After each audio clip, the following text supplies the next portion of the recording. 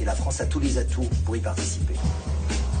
Bruno Bonnel, un entrepreneur qui, depuis 10 ans, a tout misé sur la robotique. Premier pari, ce robot aspirateur. Il en a vendu un million dans toute l'Europe. Bonjour, suivez-moi pour la visite. Sa dernière trouvaille, un avatar monté sur roulette. Bonjour tout le monde. C'est comme avoir le patron à côté de vous, en vrai Ouais, il est juste moins carré, en vrai.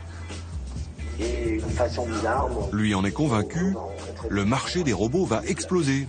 Et la France a une carte à jouer. La robotique, euh, avec des emplois d'ailleurs qui sont certainement inconnus à aujourd'hui, ça certainement euh, génératrice de, de centaines de milliers, voire de millions d'emplois.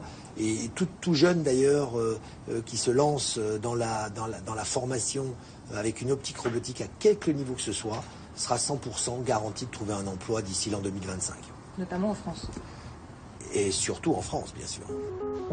Alors il y a deux ans, il a posé la première pierre d'une véritable filière de la robotique en France. Monsieur Montebourg et bienvenue dans notre univers. En 2013, avec l'appui du gouvernement, il lance Robolution Capital, le premier et le seul fonds d'investissement entièrement dédié aux robots de service. Son credo? Développer des projets comme celui-ci. Une voiture sans chauffeur. Grâce au fonds, la petite start-up lyonnaise peut conserver son avance technologique. Robolution Capital, ce sont 80 millions d'euros à investir dans une trentaine de projets. Un partenariat public-privé.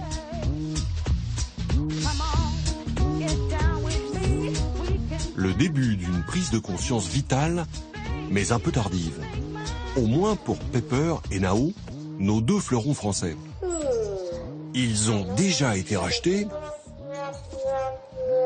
Et où se trouve leur nouvel actionnaire?